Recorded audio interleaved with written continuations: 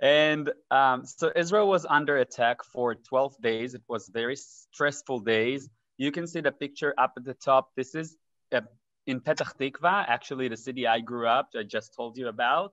This is the first time that Petah Tikva got hit by three rockets, direct heat.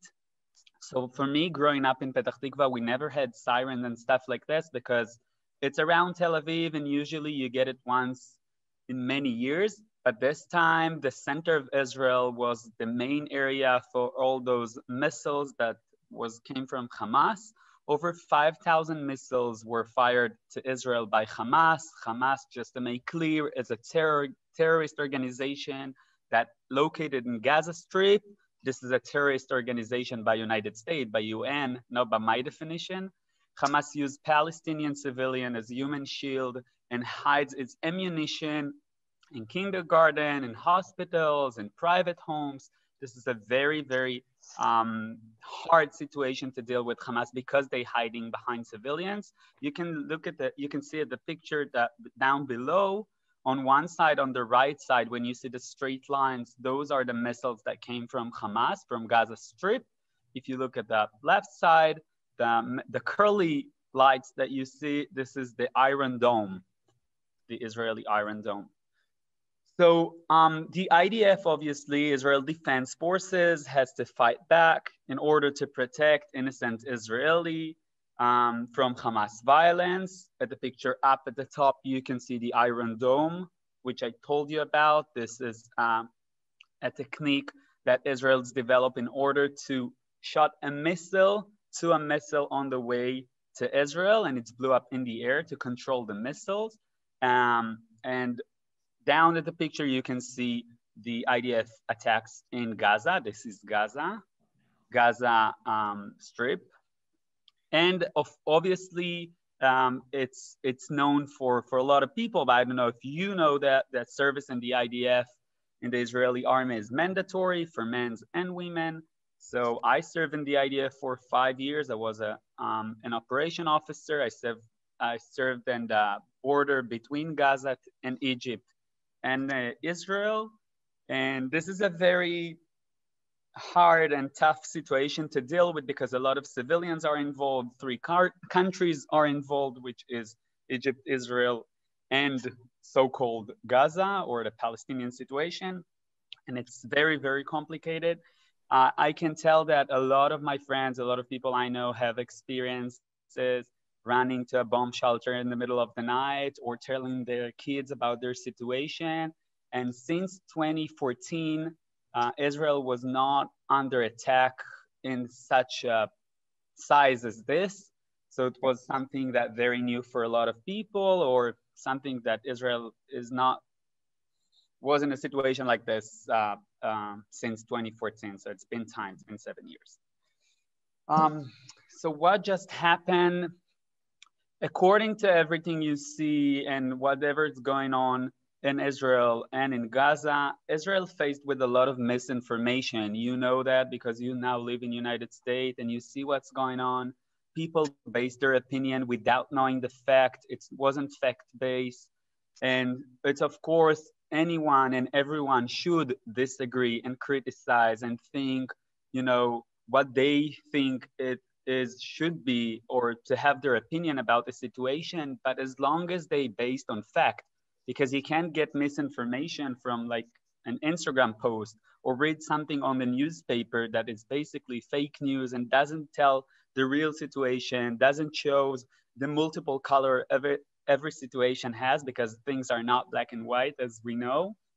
And it's very hard. And in the picture below i put Bella Hadid, Gigi Hadid. I didn't know who those models are just before the everything's going on. And Dua Lipa is a very famous um, singer from England.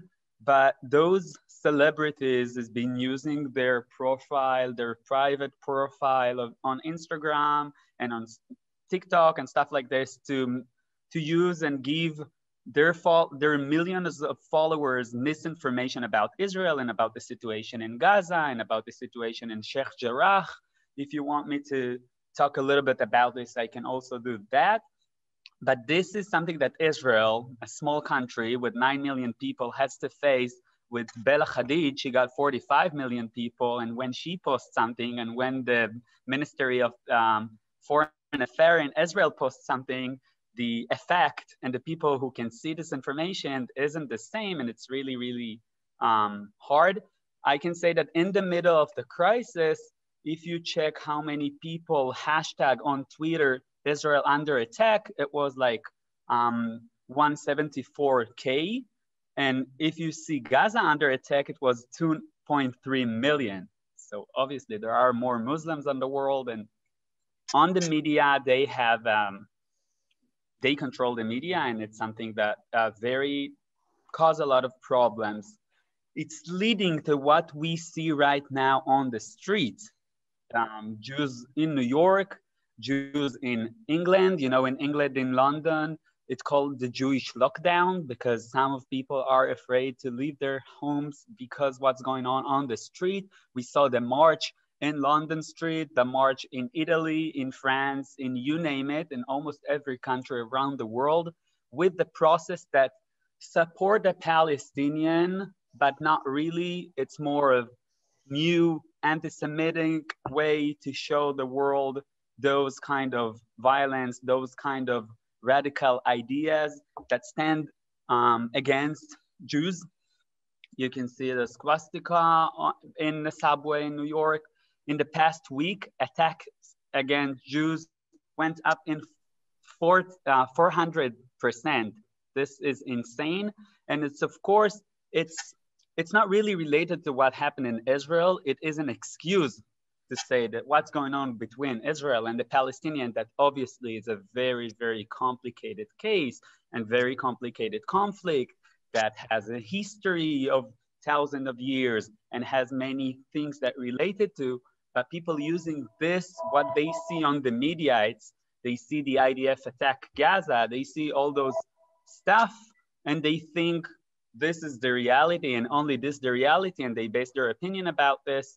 And I know for some of you it might be a very hard time to leave in, in the places that you feel it's your home, but sometimes it's scary and sometimes you experience those anti-Semitic um, comments and violence and it's really, um, it's really hard. I want to say a minute about Sheikh Jarrah. I know some people are thinking about this. So what's going on in Sheikh Jarrah and where's Sheikh Jarrah? So Sheikh Jarrah is a neighborhood in East Jerusalem that in the past Jews used to live there. It used to be a Jewish neighborhood. You know, in the War of Independence, Jordan took over some parts of West Jerusalem, including the, the Kotel, which we know, including uh, the wall and all those area in the old city. And it used to be Jordan and some Jews family has to leave because of the war and stuff. And some Palestinians, some Arabic, some Jordanian people took over their homes. After Israel took over this land again in 1967, those uh, neighborhood was again part of, of Israel and Israel went to those people that lived in those houses and said it used to be Jewish homes before. Let me buy this land from you that it will be legally will be ours in 70 years, we will see what's going on and we will have to discuss this. But let me, they make the people who live there signed on paper to make, to make it legally as a Jewish um, homes. And now it's been dealing, it's not now, it's been 20 years, it's been dealing in the court, the Supreme Court in Israel, who should control this neighborhood? Is it the Arabs who lived there for 60 years? Is it the Jews who bought this land? legally it's a very complicated issues and I don't, I don't really as an israeli i don't really know the answer it's somehow in between because what's stronger a house that i used to live for many years or something that i bought on paper? Who had to leave first? Who had to leave their homes? Very complicated. But this is happening in west jerusalem that closer to the west bank. Hamas terror organization who control Gaza has nothing to do, nothing, not geographically, not physically, not leadership, nothing, has nothing to do with what's going on in Sheikh Jarrah. They just use this excuse to attack Israel and to open a war. They, they, behind their their their uh, things they they've done, they want to show the Palestinian community or the Arab world that they support a Palestinian, or to use this as an excuse to bring up to the table, so the world can see their support. And you know, Hamas has been facing um, an election soon. Don't worry, it's not going to be a democratic election. It's just going to be an election when Hamas will re-elected. How surprisingly, if it's the only party running, and um, they want to have the support of their people, and they're using Israel as an excuse. I'm back to my presentation. Again, I'm inviting you to send some question at the oh, chat if you want to ask something, if I'm speaking too much. That's his presentation. All right, so before I'm moving to our political situation, any question about what happened in Israel with the Hamas-Israeli crisis? Any question about Sheikh Jarrah, about Gaza, about Israel, about misinformation, before we're moving on to our next topic? All good.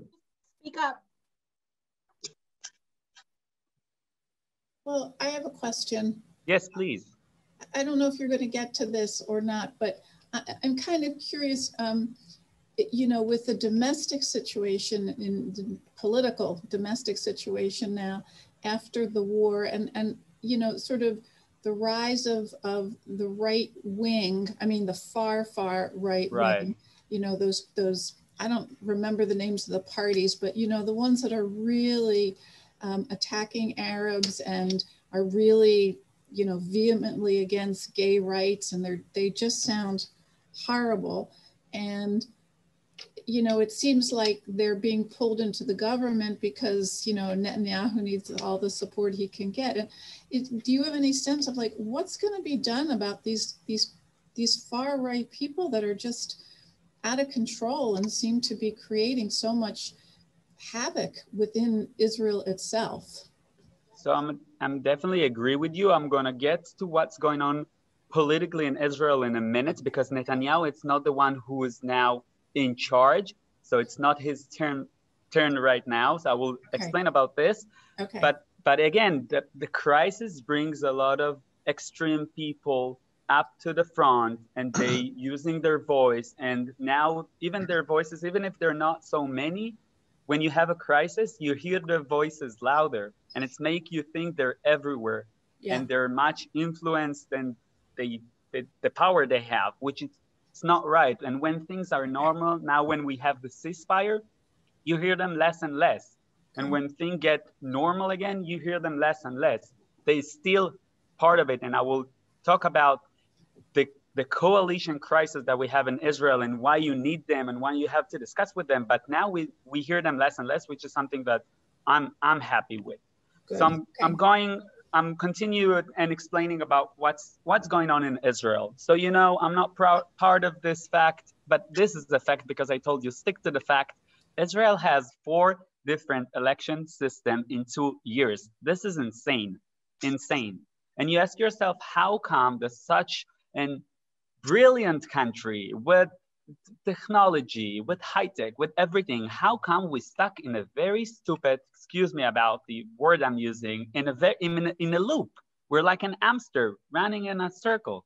This is so stupid, but the reason, the main reason is we never got that far. Remember, Israel is only 73 years old. My grandmother is older than this we never got that far. So we never know we had a problem with the system. Yes, what we are experiencing right now in the last two years shows that we have problem with the system. But the thing is, in order to change the system, you had to have a government and we can't have a government. So we're sti still stuck. What happened right now that you have an election, the fourth election we had in March, after the election, the biggest leader of the biggest party, the, the leader of the biggest party, get a mandate from our president to start a form a coalition. In order to have a coalition, you have to get 61 seats, 61 Knesset member. You can see the picture down below. We have 120 seats in the Knesset, which is, is the Israel parliament. And in order to have a government, in order to have a coalition, you have to have a ma majority of 61. So Netanyahu is going to talk with all the, the other party leaders in order to make some um, discussion, um, negotiation with them in order to make them join him. He failed. He have a certain time for this. I think it's 28 days, and he failed. What's going on? That the um, president give this option to the second leader's party. So we're now in this situation.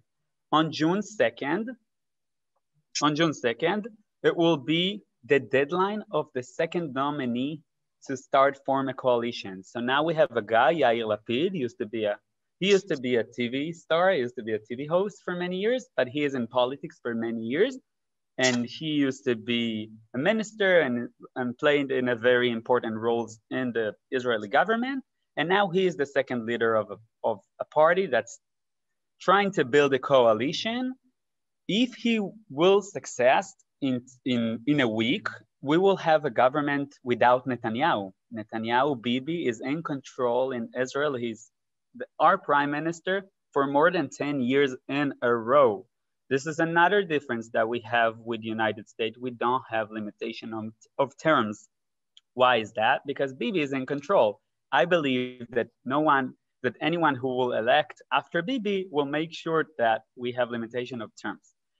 But uh, this is the situation right now. So imagine yourself that the second nominee got his mandate to start build a coalition and the, the crisis happened. The attack with Gaza happened at the same time. So all the attention went to this topic to solve this issue. So he missed some time from his time to build coalition. This is also something that we should um, we should think about when we think about this situation if you ask my opinion, I don't know.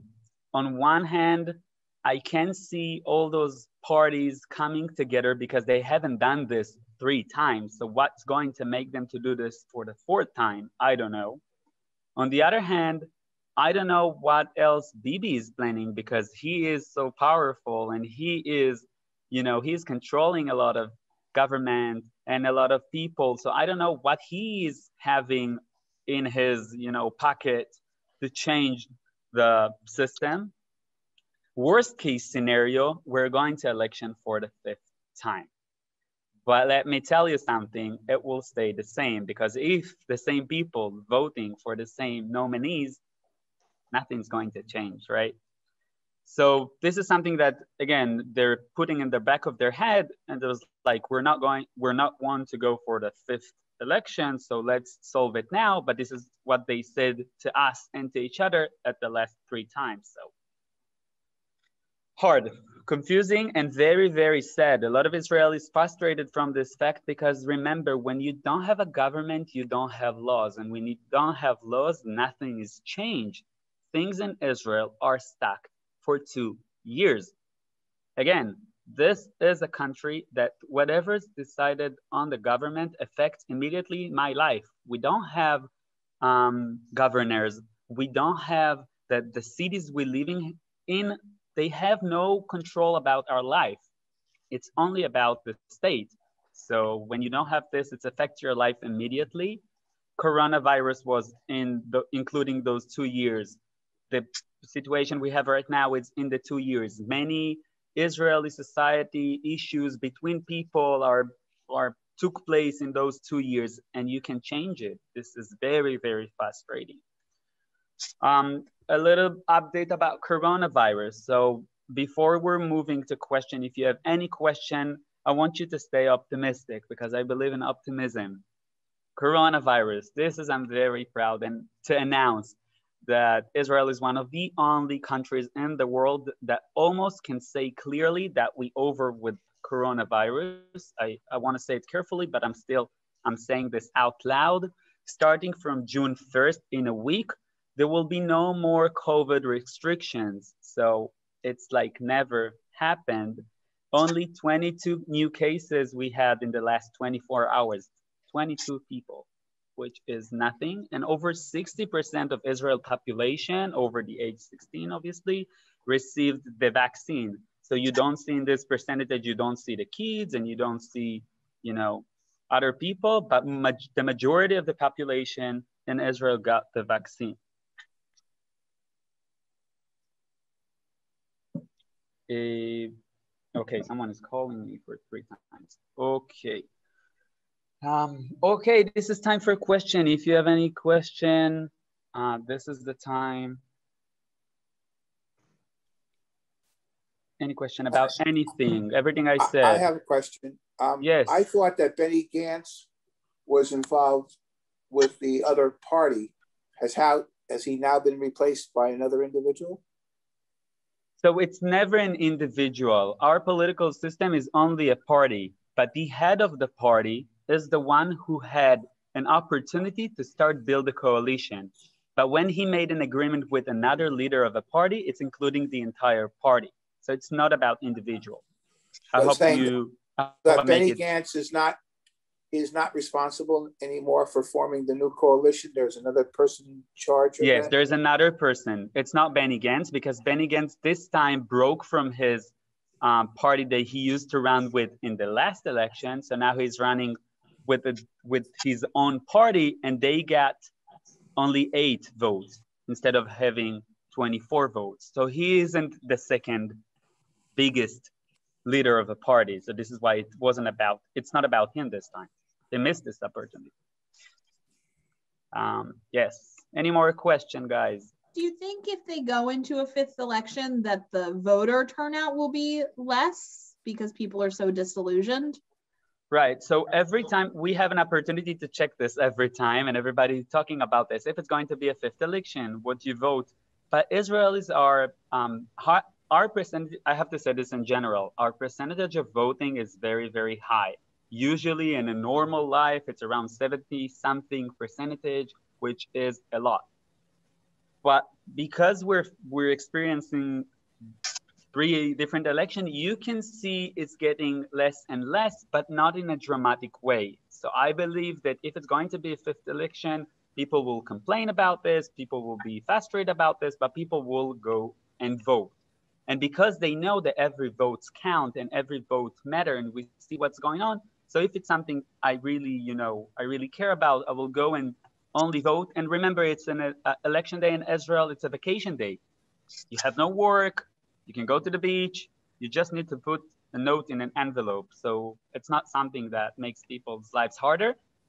So we're doing their best we can to make people to vote, but please only once in four years, not every four months. I think some someone mis misread the the instruction of the Israel state.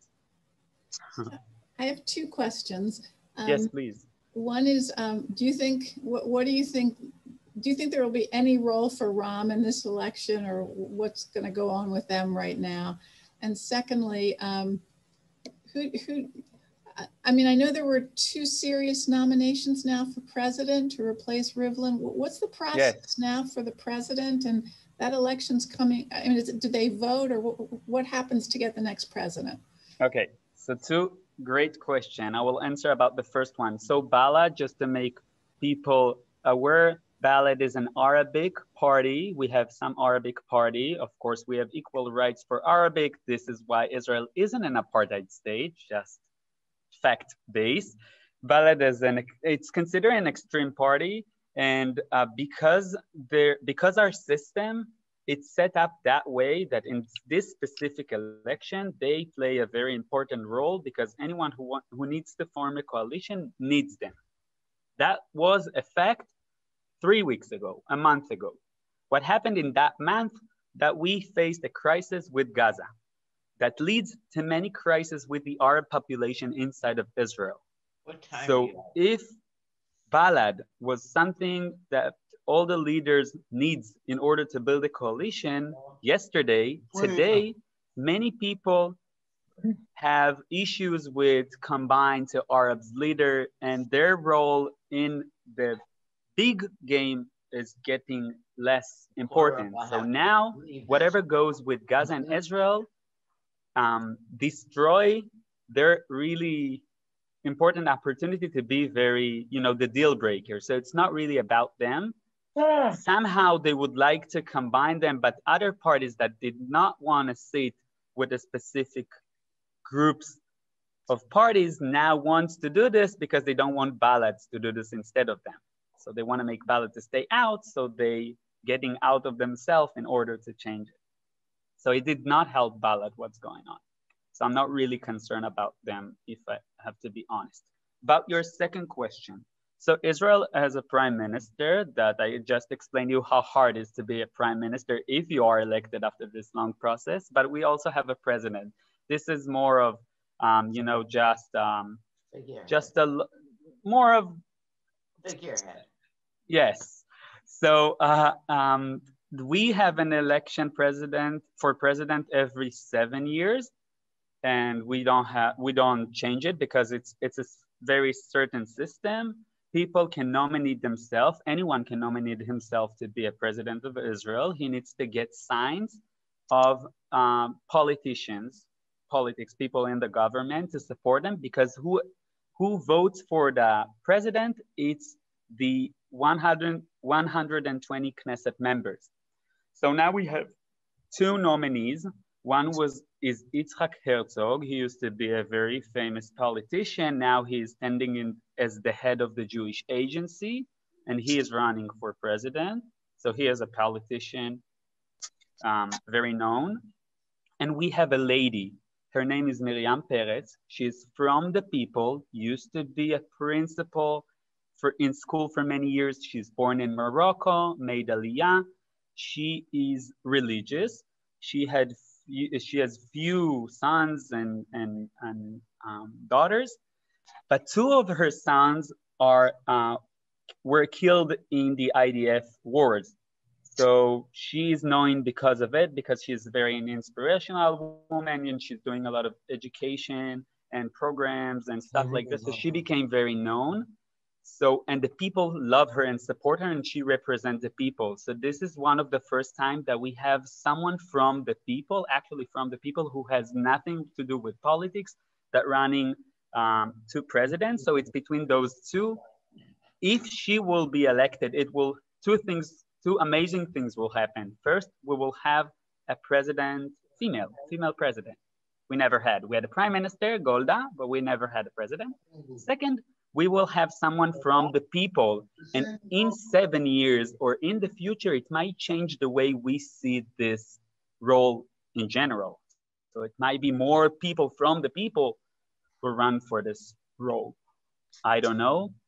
I can get I can guess you can understand who I support in this in this election, but yeah. And when is the election? So the election is in the summer. So now they announced this the the two nominees that running, they had to get the support of, of as much as they can of uh, Knesset members. And in the summer, they will elect, we will have a president.